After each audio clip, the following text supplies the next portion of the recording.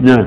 يقول آه، ما حكم من يرمي كثيرا من الصحابة الكرام بالكفر والشرك الأكبر؟ آه هذا رافضي رافضي مقبوح. ما حكمه؟ هذا رافضي مقبوح. ومن ومن يرمي الصحابة بالكفر وهو كافر. يصبح القرآن والسنة والدين كله ما وصلنا من طريق صحيح. نعم. له بقية كلامه ولا بقى له بقية لكن يعني والشرك وش بعده؟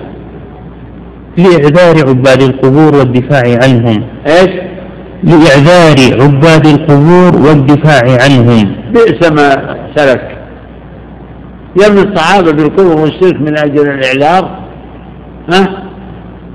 كذا يقول؟ إي نعم. يدعو نعم.